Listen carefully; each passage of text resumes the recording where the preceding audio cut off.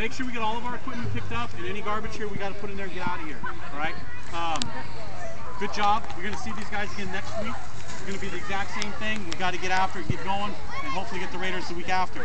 Listen, we got to make sure we're practice. We got to get stuff done. You guys are thinking that we're going to be able to walk all the way through, so we're not going to be able to. We got to get practice, get our work done, and get out of here. You guys understand? Okay.